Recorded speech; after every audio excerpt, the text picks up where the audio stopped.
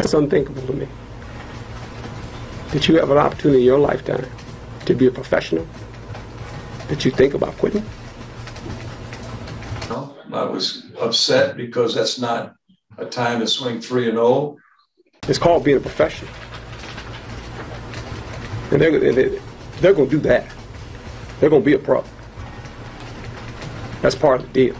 He was locked into he and Astudillo. You know, they they know each other from different comp- competition, com- com- uh, competitions, uh, competitions, com- uh, Hello? competition, com- uh, competitions, and he was locked in. And really, what he just I got to get him, I got to get him. But he he missed a three zero hit sign with that kind of lead. That's just it's not over. That's just sportsmanship, respect for the game, respect for your opponent. He made a mistake, so. You play to win the game.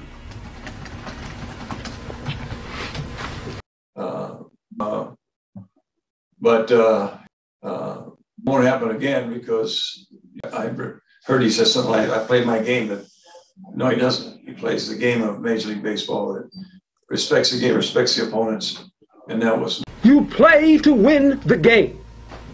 You don't play to just play it. That's the great thing about sports. You play to win.